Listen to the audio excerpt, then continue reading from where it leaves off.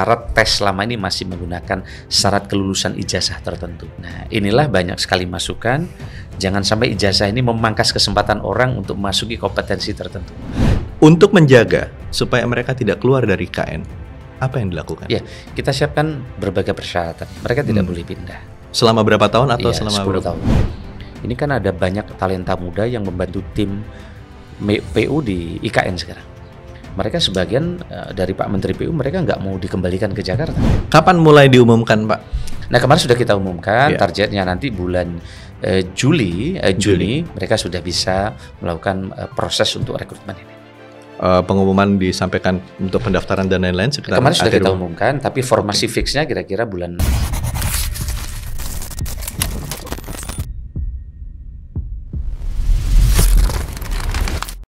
Sobat DN, Pemerintah akan segera membuka lowongan calon aparatur sipil negara tahun ini tahun 2024 untuk 2,3 juta orang.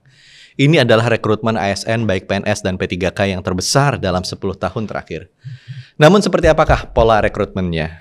Itu yang akan kita cari tahu. Demikian pula dengan perpindahan ASN ke Ibu Kota Nusantara atau IKN. Banyak yang bertanya-tanya, apakah ASN yang pindah akan mendapatkan benefit yang mereka harapkan. Insentif apa bagi mereka para SN yang mau pindah ke lokasi baru ini? Semua ini akan kita gali lebih jauh bersama sosok yang paling bertanggung jawab dengan proses ini yaitu Menteri Pendayagunaan Aparatur Sipil Negara dan Reformasi Birokrasi, Bapak Abdullah Aswar Anas.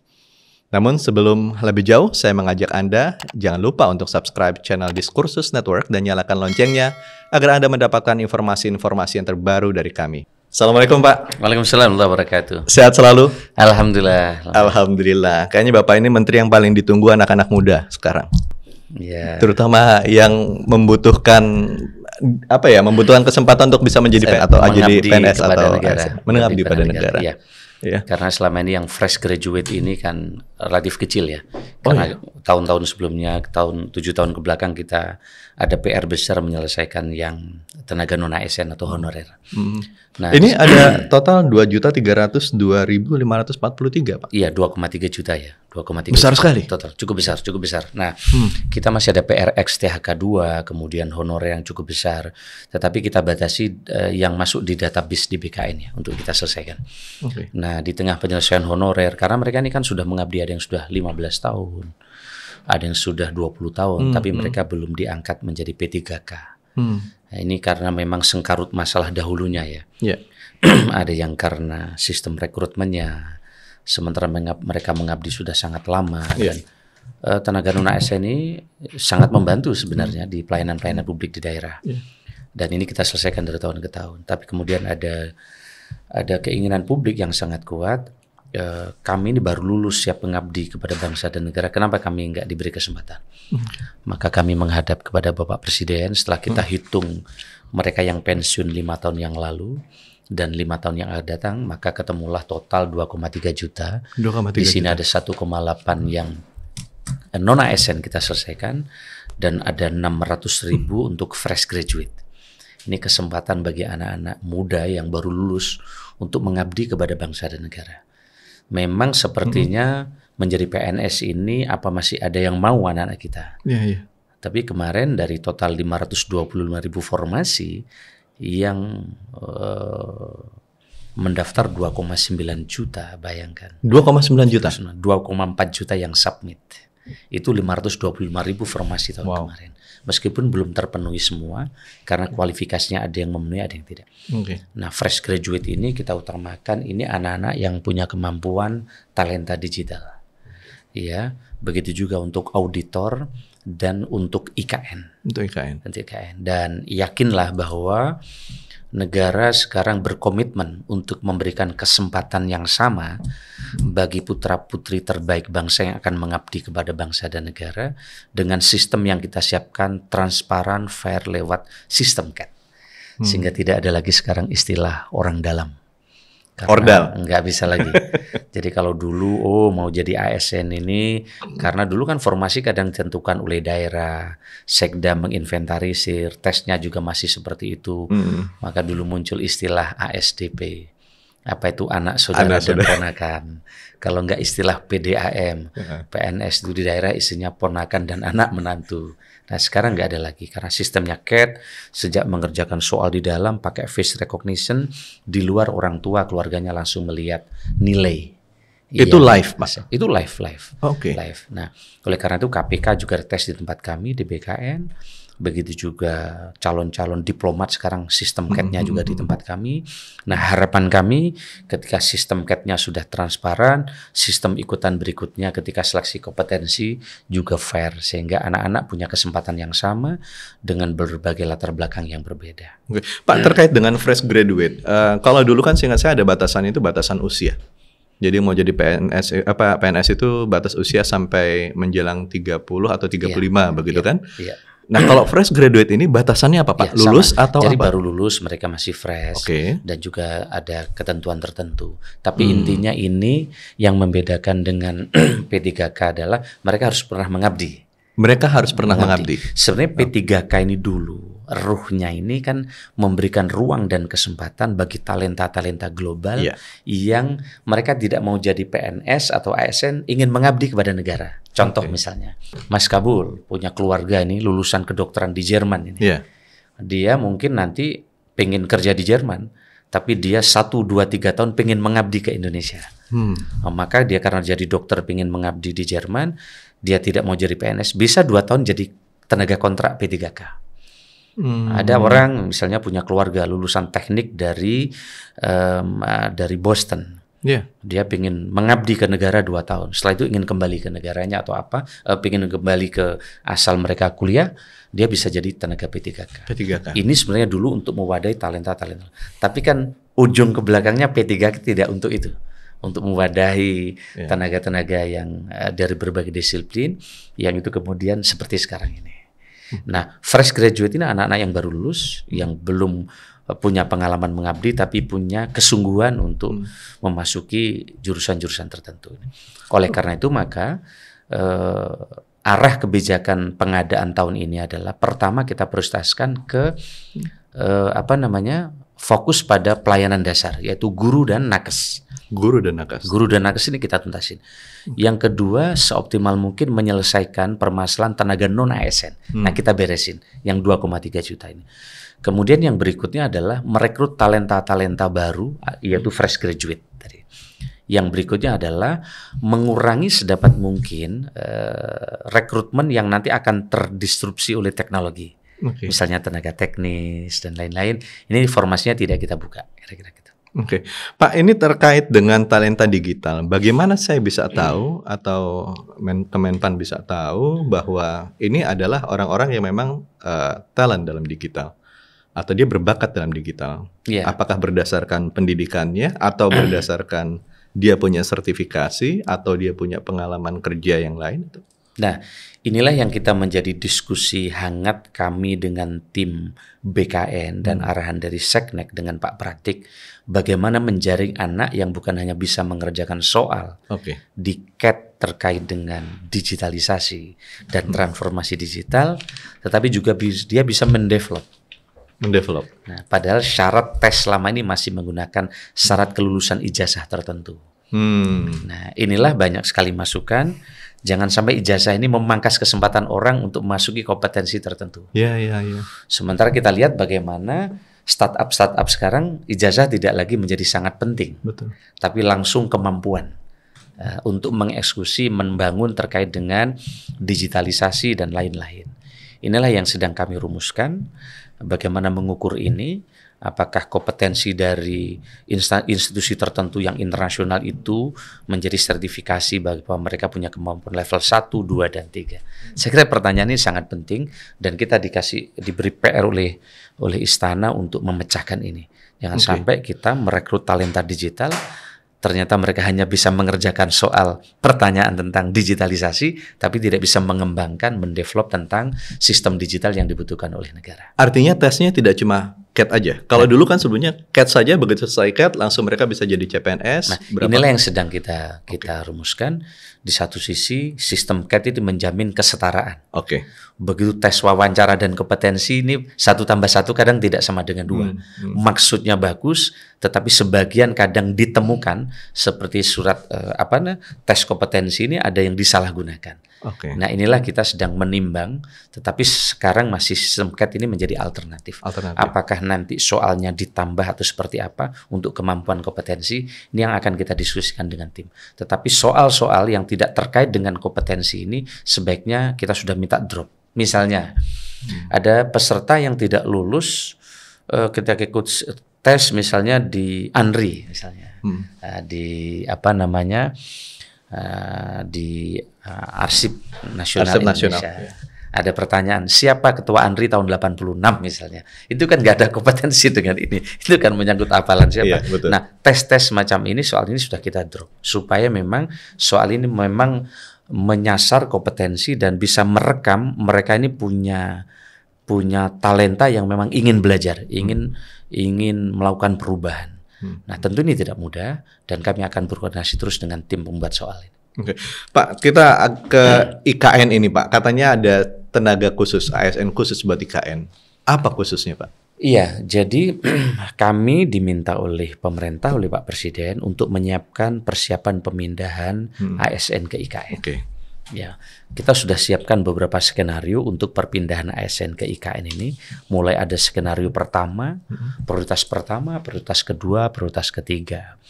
Nah, prioritas satu itu ada 179 unit eselon 1, prioritas kedua ada 91 unit eselon satu, kemudian di prioritas tiga ada 378. Nah, tentu prioritas ini kemudian akan sangat bergantung dengan kesiapan eh, hunian yang ada di sana. Oke. Maka muncullah dari skenario 11.000, 14.000, 6.000 dan kemudian muncul nanti kita sesuaikan dengan hunian yang siap di sana. Jadi kita sudah siapkan skenario secara komprehensif dari perpindahan ASN ke IKN Hmm, hmm. dengan berbagai insentif yang disiapkan. Nah, di samping kita menyiapkan skenario perpindahan ASN ke IKN dari seluruh kementerian lembaga yang menjadi prioritas tadi, Bapak Presiden memerintahkan kepada kami ini untuk menyiapkan talenta-talenta baru yang multitasking Hmm. untuk disiapkan pindah ke IKN. Jadi sejak mendaftar menjadi PNS, dia memang akan pindah ke IKN. Memang dedicate untuk di sana. Dedicate untuk di sana. Nggak boleh pindah lagi dari IKN. Iya, pindah ke IKN. Tetapi Hmm. kita syaratkan mereka memang punya kemampuan yang lebih Hmm, karena menyongsong pelayanan publik masa depan karena Bapak Presiden memberikan arahan kepada kita bahwa perpindahan ASN ke IKN itu bukan hanya soal pindah tempat kerja, Iya. Tapi ini akan menggunakan cara-cara baru dengan sistem pemerintah berbasis elektronik, dengan sistem transformasi digital yang sudah disiapkan. Oleh karena itu maka ini Presiden memerintahkan ada kurang lebih 200 ribu formasi yang disiapkan untuk IKN. 200 ribu Nah, formasi. sampai kemarin sudah ada 98 ribu formasi yang disiapkan di tahap awal untuk perpindahan ini ke IKN. Oleh karena itu maka Bapak Presiden melihat bagaimana potret berbagai eh, negara-negara menyiapkan ibu kota barunya, maka disiapkan formasi khusus ini. 71 ribu ASN untuk IKN ini apakah mereka eh, memang sudah itu sepenuhnya eh, dari seluruh kementerian lembaga yang ada di sana atau itu hanya sebagian saja Pak? Nanti akan ada rekrutmen lagi khusus buat IKN. Nah, sekarang ini kita siapkan formasi ini Hmm. kepada seluruh kementerian lembaga Oke. untuk mengusulkan ke kami formasinya. Hmm. Misalnya Kementerian Perhubungan itu ada sistem IT-nya, sistem eh, daya dukung apa administrasi dan seterusnya akan membutuhkan tim. Oke. Nah, ini akan dipindah termasuk Kementerian Keuangan dan lain-lain. Tapi ada juga kementerian yang tidak cukup banyak mengusulkan formasi di IKN karena menurut kementerian itu mereka sih sudah cukup, Hmm. udah siap dengan tim yang ada sampai 5-10 tahun yang akan datang. Pak ini kan eh, sebetulnya orang jadi PNS juga, sorry itu saya agak-agak tricky juga gitu kan Pak. Jadi ketika oh, udah nggak apa-apa saya masuk dulu nanti pindah belakangan. Toh ada undang-undang ASN gitu kan, yang sifatnya liquid orang apa ASN itu bisa pindah ke mana saja begitu. Untuk menjaga supaya mereka tidak keluar dari KN, apa yang dilakukan? Ya, kita siapkan berbagai persyaratannya. Mereka tidak Hmm. boleh pindah. Selama berapa tahun atau Iya, selama 10 berapa? tahun. 10 tahun. Ya, mereka tidak boleh pindah sementara. Nanti kita lihat uh, berikutnya dan mereka juga disiapkan. Saya kira ini kan orang membayangkan ke IKN itu sesuatu apa ya yang jauh dari yang mereka bayangkan. Iya, iya. Tetapi kalau kita lihat kemarin ada anak-anak muda yang membantu Kementerian PU di IKN. Ini kan ada banyak talenta muda yang membantu tim PU di IKN sekarang.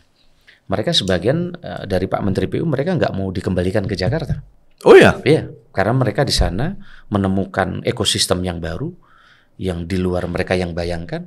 Kalau di Jakarta mungkin dia dari Bekasi, dari Bogor harus bersesak-sesakan, kena macet dan seterusnya.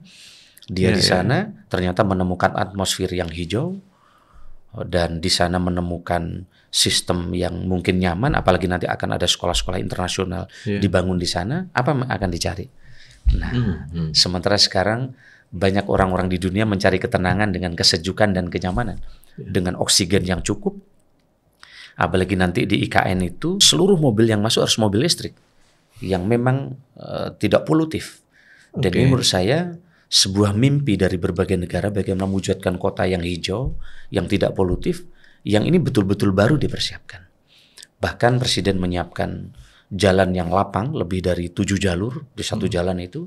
Dan kemarin kami berdiskusi dengan Pak Menteri PU bersama Bapak Presiden, itu mimpinya nanti setiap bulan ada karnaval internasional, karnaval budaya di tempat itu, Wow. pertemuan budaya-budaya nasional, dan Nasional. internasional akan digelar di tempat itu. Hmm. Setiap bulan akan ada pertukaran budaya dari berbagai daerah di seluruh republik ini, tentu akan sangat menarik. Hmm. Apalagi nanti di sana akan ada investasi sekolah yang internasional, Ya. eh, apa namanya, Stanford dan lain-lain akan hadir di sana. Tentu ini luar biasa menurut saya. Ini mimpi jangka panjang yang ini sebentar lagi hadir di depan mata kita. Ya, kita bisa lihat Agustus lah Pak ya. Nah, jadi bandara akan segera hadir, Bandara jalan tol akan segera hadir. Memang ini tidak mudah. Hmm, Tetapi ketika waktu Jakarta tenggelam, Hmm. kemacetan yang Ya, terjadi luar di mana-mana, Hmm. itu berarti akan ada inefisiensi. Bukan hanya efisiensi dari sisi energi, tapi dari sisi tenaga, menguras pikiran dan Hmm. saya kira ini mengurangi produktivitas. Ya. Saya kira ini akan menjadi sesuatu yang nyata dan saya kira ini akan segera terwujud di depan kita. Tentu ini eh, akan menjadi bagian dari apakah nanti seperti apa dari pemerintah baru yang akan datang. Tapi Presiden telah memberikan landasan dan tugas kami adalah menyiapkan SDM untuk pindah ke IKN. Pak, kalau terkait dengan ASN yang lama, bagaimana mereka melihat eh, IKN itu yang saya dengar mereka sepertinya agak, waduh, bagaimana nih kira-kira buat anak-anak saya sekolah, rumah sakit segala macam. Ya, Saya kok menangkap sepertinya mereka keberatan untuk pindah ke IKN. ya. Saya, Bapak saya, gimana? saya kira wajar pernyataan-pernyataan itu muncul karena memang progres IKN belum terlihat 100%. Oke. Tapi kalau ke IKN tiga bulan tidak ke IKN akan kaget pertumbuhan yang begitu cepat progresnya. Ya, tentu ini eh, kita sedang ingin membangun menurut Bapak Presiden kan peradaban baru di sana. Ya, ya. Nah, oleh karena itu kemarin kami sampaikan kepada Bapak Presiden bahwa sekolah ini menjadi perlu segera. Hmm. Pasar menjadi perlu segera karena menjadi bagian dari ekosistem Iya, iya. rumah sakit dan sekarang rumah sakit rumah sakit berkelas nasional dan internasional segera eh, bergegas membangun di sana. Nah, oleh karena itu eh, bayangan orang yang sebagian dulu nggak mau pindah, saya justru menemukan surat yang minta kepada saya sebagai Menpan RB ada ASN dokter yang tidak masuk dalam skema perpindahan ke IKN, malah dia minta dipindah ke IKN. Oh iya Pak. Iya, dan surat itu langsung saya teruskan ke Menkes. Bahkan ada PNS ya yang tidak masuk skenario perpindahan, dia menyatakan dia punya kemampuan digital, dia pengen pindah ke IKN. Ada kompensasi nggak buat mereka Pak? Nah, Misalnya eh ketika mereka pindah ke sana, mereka jadi eh, eselon 2 atau menjadi apa gitu. jadi gini, ini kita sedang siapkan, kami sedang menyiapkan empat alternatif, empat opsi yang Empat akan dibawa alternatif. ke ratas kepada Bapak Presiden, yang disebut dengan tunjangan pionir. Tunjangan, Tunjangan pionir. pionir. Tapi yang pasti yang di awal akan pindah ini, mereka akan mendapatkan apartemen hunian. Oke. Dia tidak perlu berpikir lagi untuk cari perumahan. Hmm. Dan apartemen hunian ini cukup luas. Yang pertama pindah ini luasnya 98 meter persegi. Dan view-nya sangat bagus. Kami udah lihat di sana topping off belum lama. Satu unit untuk satu keluarga? Nah, satu unit satu keluarga untuk sementara eselon satu. Oh, eselon seluruh satu. eselon satu.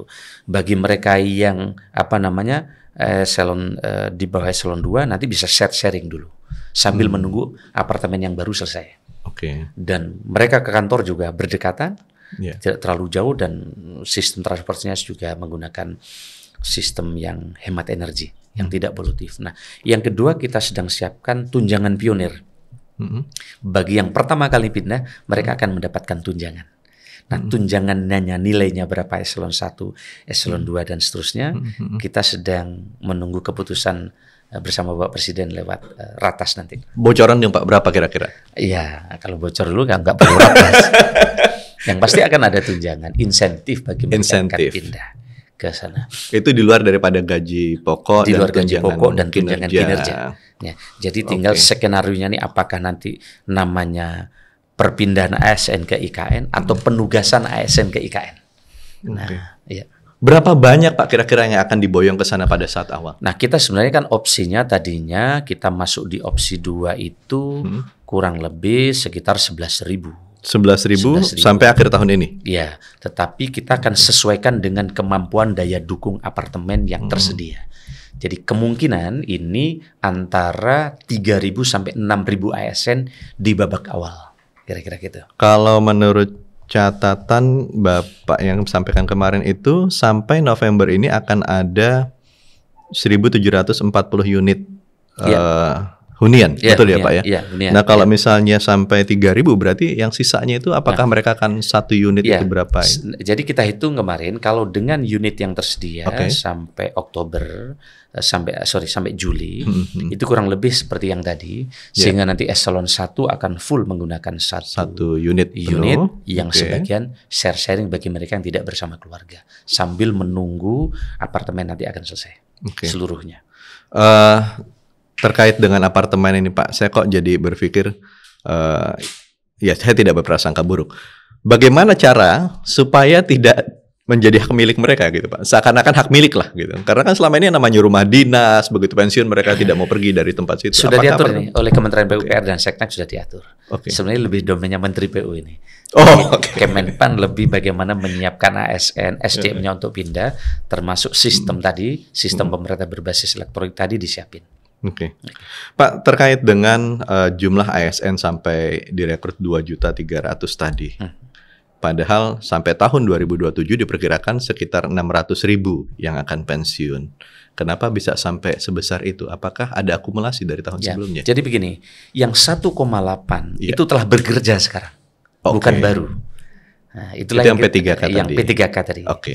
Nah, yang P3K ini kita siapkan dua skenario. Hmm. Satu P3K penuh waktu dan paruh waktu. Sebenarnya konsep gig ekonomi tadi di dunia tadi. Gig ekonomi. Bagi kabupaten kota Hmm. atau kementerian lembaga yang anggarannya udah siap, Iya. mereka bisa diangkat ke penuh waktu dengan sistem seleksi tadi. Iya. Tapi bagi kabupaten kota yang anggarannya belum siap, dia tetap bisa bekerja di situ tanpa harus ada pembengkakan anggaran, ada pengurangan pendapatan, berarti dia statusnya berubah P3K paruh waktu. Jadi 1,8 itu memang sekarang telah bekerja, Iya. tinggal merubah status saja. Iya. Nah, yang 600 ribu memang fresh graduate karena kita hitung mereka yang sudah pensiun dan yang akan pensiun sampai 2027. Yang 600 ribu itu. Iya, Oke. kira-kira. Itu besar sekali Pak ya. Besar Dua- sekali. dua juta. Nah, tapi 600 ribu ini belum tentu terisi semua. Oh, karena begitu. kualifikasinya belum tentu eh, sesuai. Itu yang alasannya kenapa dibuka sampai tiga kali Nah, dalam satu tahun. Tahun kemarin itu rata-rata 74 persen yang terpenuhi. 74 persen. 74 persen.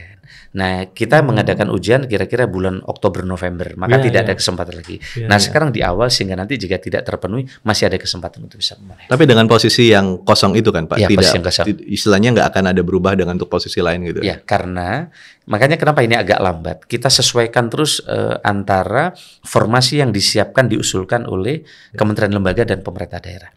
Tahun ini kami membuat keputusan agak berbeda dibandingin tahun kemarin. Tahun kemarin formasi kita rigid dari Jakarta. Hmm. Nah, sekarang kita berikan full ke Pemda dan provinsi dan kementerian lembaga karena kami eh, apa berasumsi bahwa kementerian lembaga dan Pemda lah yang tahu prioritas SDM mana yang diperlukan. Oke, oke.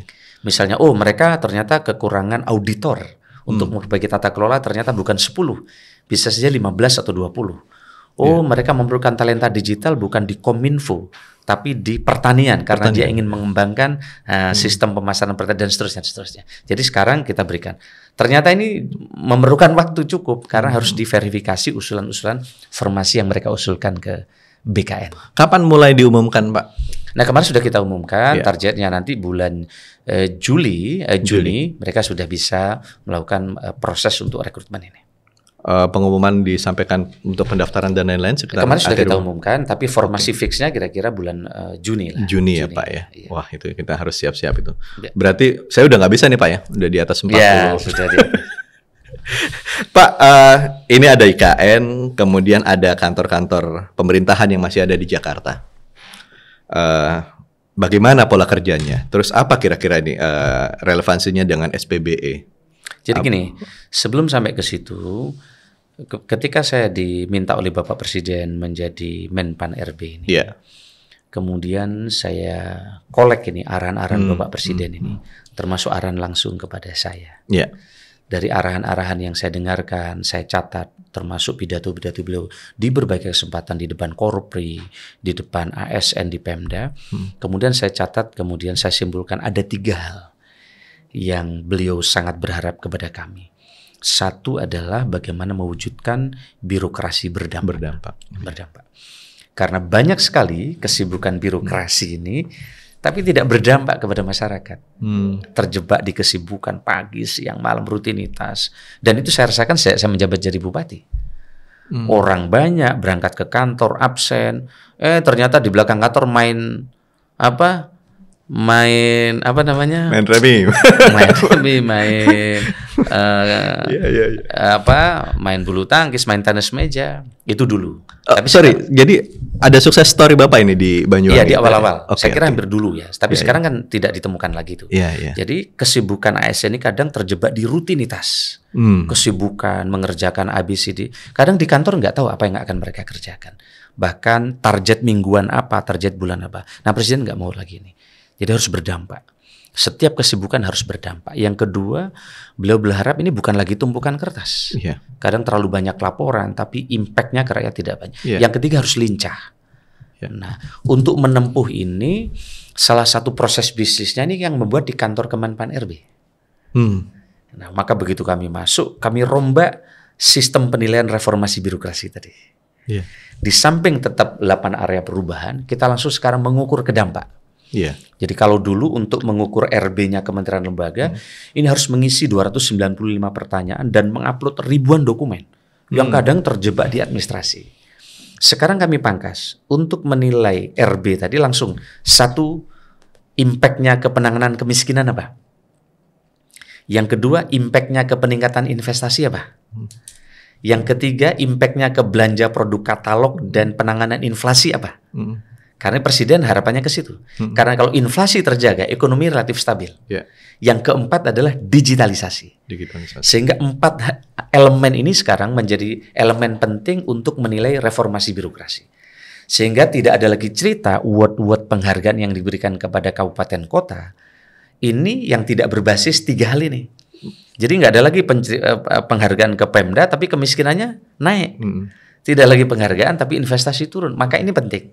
Kenapa digitalisasi kita masukkan? Karena ini digitalisasi ini menjadi bagian yang bisa membuat pelayanan kita lebih lincah, Hmm. cepat, murah, transparan. Pasti. Ini Iya. dengan digital. Nah, sayangnya program digitalisasi ini sekarang dimanai dengan pembuatan aplikasi. Oke. Maka sekarang kita larang setiap inovasi membuat aplikasi baru. Ini trennya setiap kepala dinas baru, bupati baru, pejabat baru. Ini kan ada vendor baru yang mendekat ke pejabat itu. Semacam ada konsultan baru, vendor baru, dan membuat aplikasi. baru. Aplikasi. Padahal banyaknya aplikasi tidak menjamin eh, cepatnya pelayanan kepada rakyat. Justru membuat birokrasi baru karena rakyat harus mendownload Iya. satu-satu aplikasi itu. Nah sekarang kita larang ini. Dengan Kemenpan diminta oleh Presiden untuk mengkoordinir sistem pemerintah berbasis elektronik. Apa yang sekarang diperlukan? Sekarang tata kelola birokrasi kita yang kita dorong yang impactnya supaya cepat ke rakyat adalah menginteroperabilitaskan aplikasi tadi. Oke. Maka sekarang ratusan aplikasi di Pemda, mungkin di provinsi, di kementerian, kita paksa sekarang untuk menginteroperabilitas tadi. Nah, ketika kami diminta mengkoordinasi ini, saya senang tiba-tiba Pak Tony Blair datang ke kantor. Pak Tony Blair datang ke Kemenpan. Beberapa minggu lalu. Ya, yang tahun sebelumnya lagi. Oh, yang tahun sebelumnya. Beliau meyakinkan kepada kami tidak ada cara untuk melipat gandakan pencapaian negara kecuali dengan digitalisasi. Oke. Dan transformasi digital yang dikerjakan di Inggris juga mengalami soal yang rumit seperti yang dialami sekarang. Iya. Karena di, di Inggris waktu itu lebih dari seribu web service yang kemudian jadi satu portal. Menyatukan itu tidak mudah, tapi berhasil. Inggris meskipun secara bertahap Inggris akhirnya bisa menyelesaikan itu. Kemudian dicontoh oleh negara-negara persemakmuran. Dan setelah itu kami dengan tim diajak oleh Pak Tony ke Inggris untuk melihat dapurnya di Inggris seperti apa. Saya dengan tim juga kemudian diajak ke Estonia untuk belajar bagaimana sistem yang terbaik di Eropa sekarang bekerja. Oh, ternyata memang perlu ada simplifikasi dan orientasi baru dari sistem pemerintah yang berbasis elektronik. Kemudian kita belajar lagi, oh ternyata atas saran presiden coba cek mana negara terbaik. Kita cek 20 negara terbaik yang pertumbuhan ekonominya apa eh, indeks persepsi korupsinya bagus, investasinya bagus. Ternyata yang indeks eh, developmentnya bagus, yang indeks SPBE-nya bagus. Mulai dari Korea Selatan, Finlandia, Denmark, Inggris dan seterusnya termasuk Singapura, mereka yang sistem pemerintah berbasis elektroniknya bagus. Oke. Nah dari sinilah kemudian kita banyak belajar, kemudian kami menghadap Bapak Presiden, ratas beberapa kali diputus. Memang ini menjadi keinginan Presiden sejak awal bagaimana SPB ini bisa bekerja. Dan ternyata setelah kita lihat dari berbagai negara itu kami lapor kepada Bapak Presiden, Bapak Presiden setelah kami lihat ternyata negara-negara ini kenapa bisa cepat mengakselerasi, menginteroperabilitas eh, eh, apa sistem itu ternyata tiga kuncinya. Hmm. Ada strukturnya. Satu digital ID-nya harus beres. Yang Kependudukan kedua, berarti itu? Iya, data exchange-nya harus beres. Yang ketiga digital payment-nya harus beres. Nah, menyatukan ini ternyata butuh yang namanya GovTech, Government Technology. Nah, selama ini masing-masing kementerian punya konsultan yang ini kalau kecap nomor satu semua ini. ini paling top semua, ini paling top lulusan ini. Kita kaya dengan data, sayangnya tidak bisa terinteroperabilitas. Data exchange-nya nggak terjadi, maka rakyat masih berbelit. Jadi misalnya, Mas Kabul, ke rumah sakit ini, ngurus putra-putrinya, Bapak harus ngisi. Masih harus fotokopi, betul nggak? Betul. Nanti ke tempat lain masih harus ngisi lagi, fotokopi lagi. Padahal dunia udah berubah sekarang. Ya. Hampir semua pelayanan yang sifatnya private sudah beres di HP. Iya. Kenapa harus mengisi? Ini karena digital ID-nya belum beres. Hmm. Lalu apa posisi hari ini? Inilah kita sedang mengintegrasikan identitas digital yang di Kominfo dengan digital eh, identitas kependudukan digital yang ada di Kemendagri. Ini masing-masing punya kewenangan undang-undang. Selama ini susah mempertemukan. Iya. Tapi alhamdulillah dengan beliau eh, dengan mengerahkan tim, kami rapat lebih dari 20 kali, sekarang mulai ada titik temu untuk kita beresin. Nah, untuk membereskan ini tidak mudah karena masing-masing punya konsultan teknologi masing-masing. Nah, setelah belajar dari Inggris, Singapura semua, ini punya government teknologi. Kira-kira tukangnya sama ini untuk menginteroperabilitas ini. Karena kemarin punya tukang masing-masing susah mempertemukan karena menyangkut proyeknya bisa berhenti masing-masing. Masalahnya Iya, iya, ini iya. konsultan udah bergerak bayar mahal, ini kalau nggak berhenti nggak bisa sambung. Nah, Presiden memerintahkan dengan tegas membuat Perpres GovTech, Government Technology. Dan Indonesia sudah punya GovTech, sekarang sedang bekerja bertahap, yang insya Allah akhir bulan ini akan dilaunching oleh Bapak Presiden, namanya INA Digital. Ina Digital. INA Digital. INA. Digital. Di situ talenta-talenta digital baru direkrut yang sekarang juga sedang mendevelop bersama-sama di Kemenkes sistem satu sehat. Pak Menkes telah melakukan upaya terobosan baru di sana. Dengan sistem satu sehat nanti sistem puskesmas diintegrasikan. Begitu juga yang ada di eh, apa GovTech Edu Iya. dan juga di Kemenpan yang di sini ada namanya sistem Smart ASN sehingga nanti tidak perlu lagi mengisi aplikasi sangat banyak dan ini mimpi besar negara ini. Ina Digital itu nanti isinya orang sekali menggunakan itu mereka bisa akses ke mana? bisa masuk dengan si SSO-nya nanti. SSU. Nah, SSO yang akan dipakai kemarin apakah pakai SSO-nya Kominfo atau Dagri ini berdebat sangat panjang. Iya, iya, Rapat lebih dari 30 kali. Tapi alhamdulillah Pak Mendagri memerintahkan stafnya Pak Menkominfo untuk duduk bersama dan kami eh, menjadi bagian dari ini. Sekarang SSO-nya nanti akan pakai Inapas yang mudah-mudahan nanti dengan teman-teman cukup face recognition datanya udah terjadi dan tidak perlu mengisi yang berulang. Dan ini saya kira tidak lama lagi Indonesia akan mengalami ini karena ada kesungguhan yang luar biasa. Kami bekerja siang malam untuk mengerjakan ini sehingga kalau transformasi digital di birokrasi ini terjadi, ICOR kita pasti akan rendah. Hmm. Kesulitan-kesulitan yang selama ini birokrasi menjadi biang keladi ini secara bertahap akan terurai. Kalau Oke. digital paymentnya jalan, soal bantuan pupuk, bantuan-bantuan sosial, insya Allah akan terurai semua. Iya. Sehingga Bapak Presiden kalau kemarin sudah menyiapkan kereta tercepat di ASEAN, banyak jalan tol diresmikan. Ini akhir bulan ini Bapak Presiden akan memulai meresmikan jalan tol pelayanan publik Jalan tol lain. yang dimimpikan oleh kita bersama dan Kemenpan RB menjadi bagian yang diperintahkan Presiden untuk segera mengintegrasikan layanan ini. Dan kami senang ada Kementerian BUMN di tempat ini, ada Menkominfo, ada Bappenas, Menteri Keuangan, kemudian Mendagri yang bekerja terus kita siang malam, kemudian BSSN Ya, karena menyangkut keamanan data. Sehingga setiap proses eh, yang kita lakukan tahapan-tahapan harus disertified oleh BSSN ya karena ini menyangkut keamanan data Hmm, hmm. dan mulai tahun ini juga Kemenpan menambah anak teman-teman yang lulusan di sekolah Sekolah eh, se- sandi negara Iya. tadi untuk kita tambah agar ke depan keamanan data kita menjadi jauh lebih hebat. Jadi sebenarnya secara diam-diam kita sedang bekerja, tapi ini kan nggak kelihatan. nih. Iya, iya. Kita tidak seperti mengerjakan jalan tol yang pekerjaannya dilihat oleh banyak Hmm. orang, pengguntingan pitanya kelihatan. Tapi kita kami sedang bekerja dengan tim besar ini dibantu oleh eh, lintas kementerian ini sedang menyiapkan jalan tol pelayanan publik yang sesungguhnya ini adalah akan menjadi peta jalan pelayanan publik yang targetnya akan terukur. Oke. Kita lihat kisah sukses India misalnya ya dengan digital ID, data exchange dan digital payment yang bagus. Target pembangunan India 47 tahun cukup tujuh tahun tercapai. Hmm. Dahsyat sebenarnya. Lebih cepat ya. Dahsyat. Tapi kalau saya lihat Bapak tadi bilang digital ID, digital payment, data exchange gitu Iya. kan. Ya ada dua hal yang saya menganggap itu masih sedi- sedikitnya apa ya, ada sedikit masalah gitu. Digital ID terutama masalah kependudukan gitu kan, Pak. Jadi ada orang yang sudah meninggal datanya masih ada gitu kan. Nah. kemudian dan dengan data exchange ini terkait dengan ego sektoral gitu kan, Pak. Itu gimana ngatasin itu? Sekarang di Kemendagri dan kami sudah telah bekerja keras untuk menuntaskan Hmm. ini. Sehingga perapian data ini secara bertahap eh, pasti terjadi. Tinggal menunggu waktu. Dengan Hmm. Oke. digital ID nanti, dengan identitas digital, sekarang Kemendagri sudah bekerja keras untuk melahirkan identitas kependudukan digital.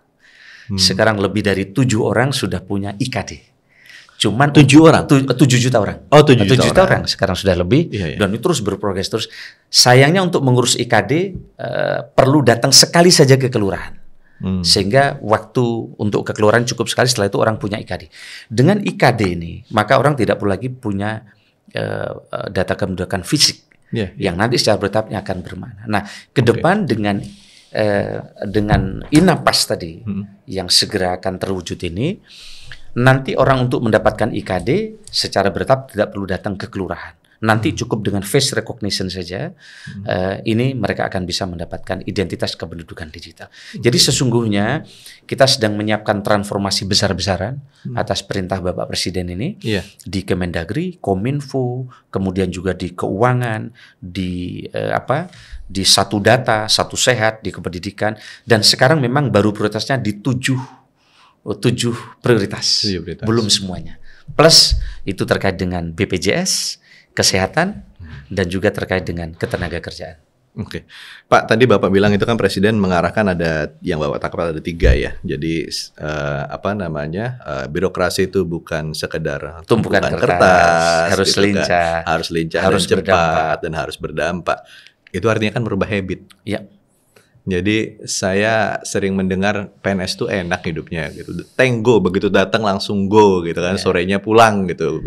pensiunan ada. Pensiunan ada Iya. gitu kan. Nah merubah habit seperti ini Pak. Ini kan bukan hal yang mudah. Oke. Inilah sekarang sebenarnya kita sedang melakukan transformasi besar-besaran di ASN dengan undang-undang ASN baru dengan RPP yang sedang kita susun. RPP. Iya, di situ ada perjanjian kinerja, kemudian juga terkait dengan uh, talenta dan seterusnya yang sedang sekarang kita lakukan. Nah, pada saat yang sama Kemenpan kami begitu menjabat di dua bulan pertama kami banyak memangkas proses bisnis. Karena digitalisasi kalau probisnya tidak dipangkas tetap akan panjang. Apa aja Pak yang dipangkas? Contoh misalnya dulu ASN ini untuk mengurus kenaikan pangkat itu ada 14 tahap, panjang sekali. Iya. Maka di dua bulan pertama saya minta ke BKN dan seluruh kanrek untuk memperbaiki data dan tata kelola data di kepegawaian kita yang anomalinya sangat tinggi. Hmm. Yang kedua memangkas proses bisnis. Dulu ada 14 tahap, sekarang tinggal dua tahap saja Tinggal dua untuk ngurus kenaikan pangkat. Iya. Dulu untuk pensiun itu ada tujuh tahap. Orang ngurus pensiun ribet panjang. Sekarang tinggal dua tahap. Begitu juga proses-proses bisnis yang lain kita minta kita pangkas sehingga dengan begitu nih jauh lebih mudah. Nah dengan pemangkasan proses bisnis ini targetnya dampak ke ASN kita juga banyak. Oke. Nah begitu juga target kita kepada masyarakat layanan masyarakat. Kalau misalnya dua tahap bisa kenapa harus delapan tahap harus tujuh tahap. Nah pemangkasan-pemangkasan ini dan target kinerja ini targetnya ke depan ini bisa akan mendorong kinerja kita. Begitu juga tunjangan. Tunjangan kinerja, misalnya kami di Banyuwangi ya. Dinas yang kinerjanya tidak bagus berbeda tunjangannya dengan dinas yang tidak bagus. Oke. Maka setiap minggu ada lima dinas kinerjanya paling bagus, ada lima dinas yang kinerjanya paling buruk. Nah, kinerja yang paling jelek tadi, tunjangannya dipangkas untuk yang paling bagus di atas tadi. Jadi tidak fix. Nah, kita juga di RPP ini, RUSN ini mendorong bahwa tunjangan itu ya diberikan bagi mereka yang berkinerja bagus. Iya. Nah, kalau kerja nggak kerja tunjangannya sama. Nah, ini pasti akan mendorong birokrasi yang seperti yang tadi yang disebutkan Disebutkan tadi. tadi. Nah, targetnya ke depan kinerjanya Wah. dengan penilaian kerja yang eh, digital, targetnya ke depan kompetisinya akan lebih bagus. Eh, apa kira-kira nih Pak dampaknya ketika nanti tunjangan kinerja ini lalu diberlakukan single salary, bukannya justru malah akan apa ya eh, yang tadi harusnya mendapatkan dia performance-nya tidak bagus, Iya.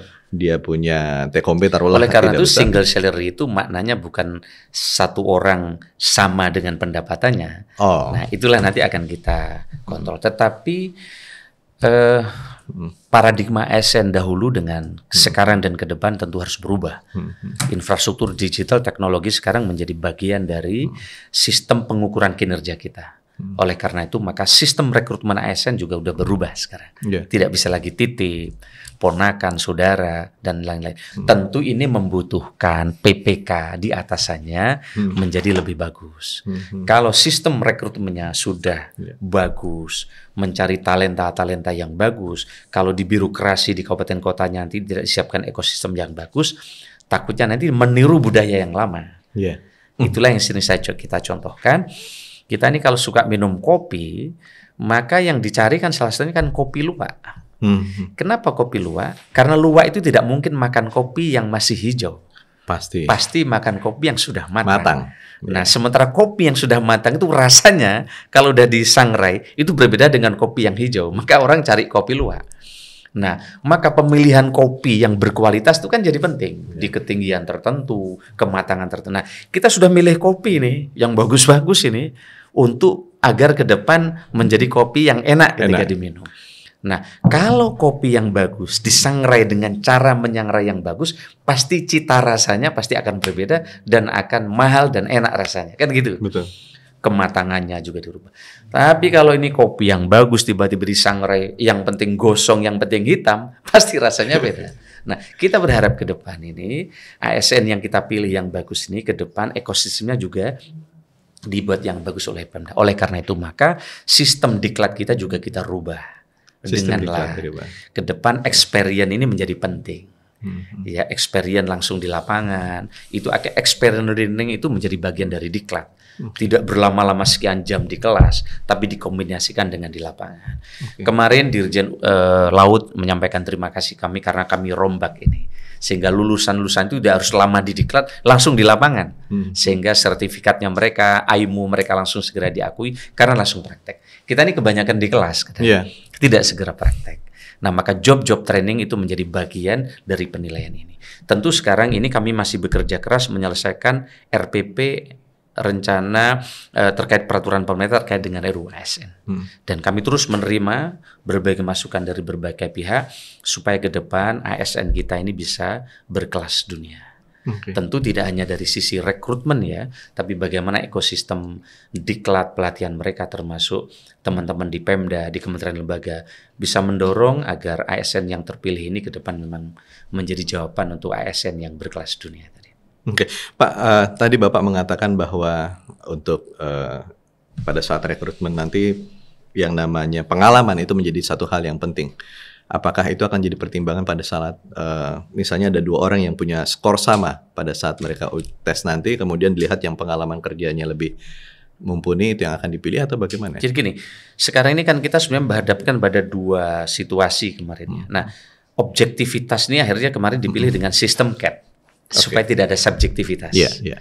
Nah begitu wawancara macam-macam di satu sisi ada institusi yang sangat profesional, tapi selain ada yang memanfaatkan tadi. Hmm. Nah sekarang ini kita masih dengan menggunakan sistem CAT ini.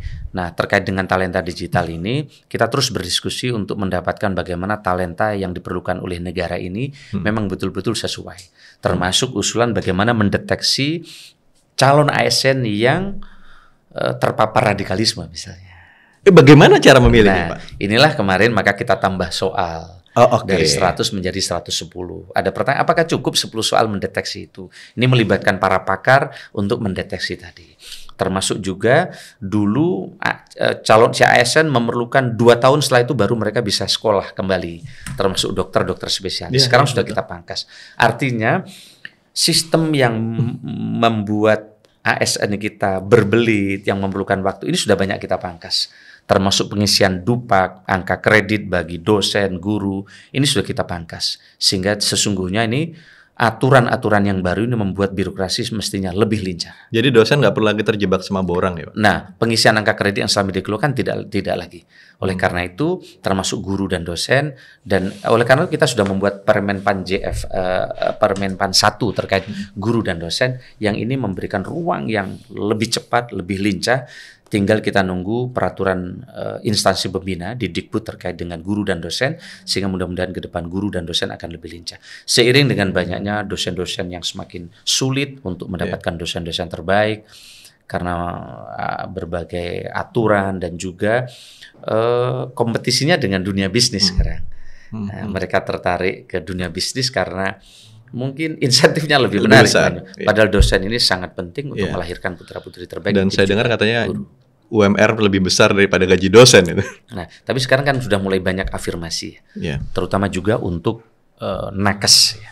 Kita sekarang kemarin berpikir keras bagaimana dengan Pak Menteri Kesehatan, Pak BGS dan Pak Nadim mm -hmm. untuk mendorong lahirnya dokter-dokter spesialis baru.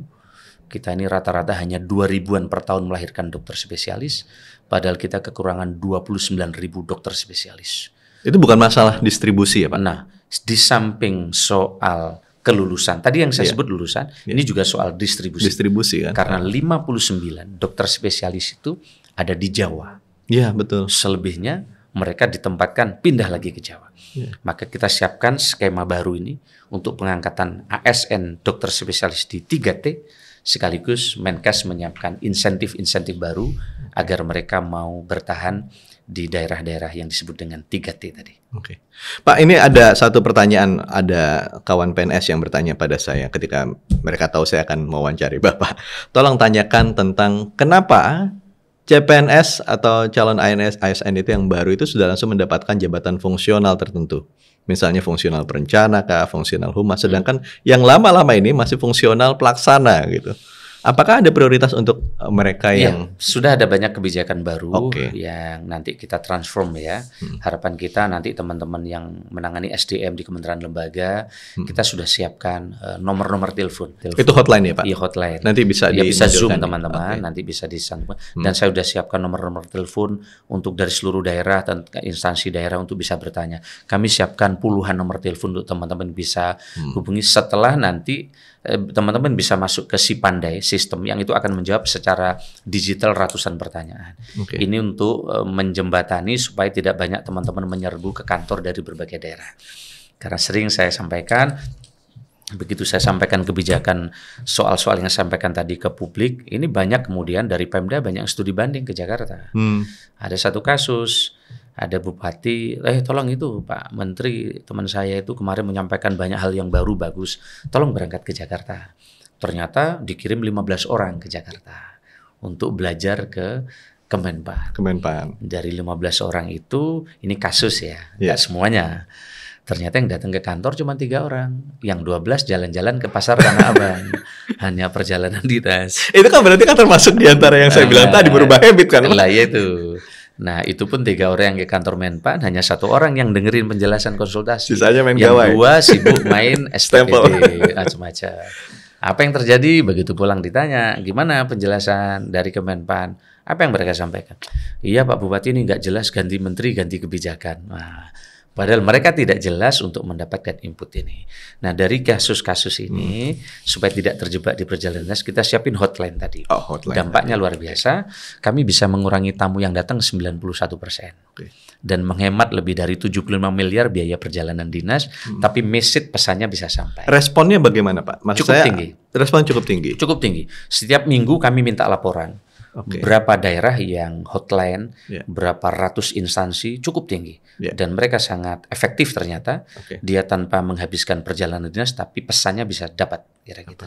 Karena kami setiap minggu melakukan rakor memonef. Oke. siapa yang mengerjakan apa. Ini kalau ada masalah yang kemarin problemnya apa? Hmm. Teknis atau strategis? Oke. Apakah problemnya di deputi, problemnya di asdep atau di staf atau jangan-jangan problemnya di menterinya Iya. yang keputusannya tidak segera diambil keputusan. Oke. Sehingga setiap minggu kami monef siapa yang mengerjakan apa. Karena eh, birokrasi ini kadang siap-siap di depan tapi di belakang nggak siap.